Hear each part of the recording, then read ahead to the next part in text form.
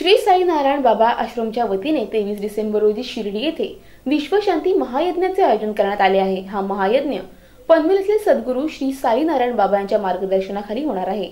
या महायज्ञात पनवेलचे सुमारे साडेतीनशे साई भक्त सहभागी होणार आहेत. दरवर्षी डिसेंबर महिन्यात श्री साई नारायण बाबा आश्रमच्या वतीने विश्वशांतीसाठीचे महायज्ञाचे आयोजन करण्यात येते. याबाबत श्री साई नारायण बाबा यांनी मल्हार टीव्हीशी संवाद साधला. अभी 23 दिसंबर को वार्षिक शिरडी, नवचंडी यज्ञ है नवचंडी यज्ञ, विश्व शांति के लिए। आज विश्व में फैला अशांति का मूल कारण जनता में फैला पाप कर्मी है, जनता तथा शासकों का। तो इस शांति लाने के लिए हम लोग शिरडी में बाबा के आदेशानुसार नवचंडी का यज्ञ करते हैं। इसमें करीबन 25 शास्त्री होते हैं।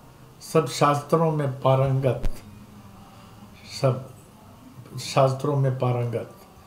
तो ये करीबन लगभग सुबह छः बजे शुरू होता है, दोपहर दो बजे तक। ये तेईस तारीख को।